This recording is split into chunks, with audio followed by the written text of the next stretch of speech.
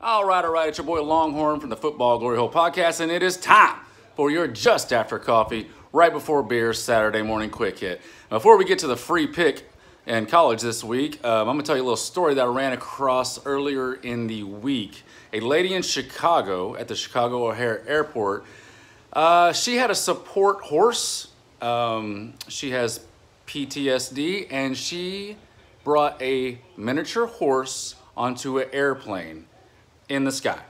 So that got me thinking, you know, that might sound a little crazy, but we all need support things. And I feel like we are kind of like your support animal when it comes to going up against those bookies because they're those bookies are assholes. They're just there to take your money.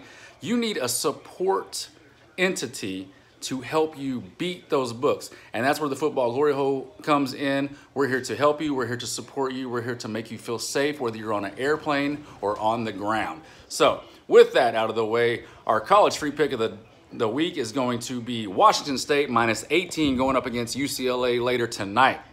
That crazy pirate is just licking his chops, ready to run it up on Chip Kelly, who used, well, some people called him the offensive genius. He used to be, I guess, a decade ago. I'm not sure he is anymore. UCLA is actually dead last in the country in YPP.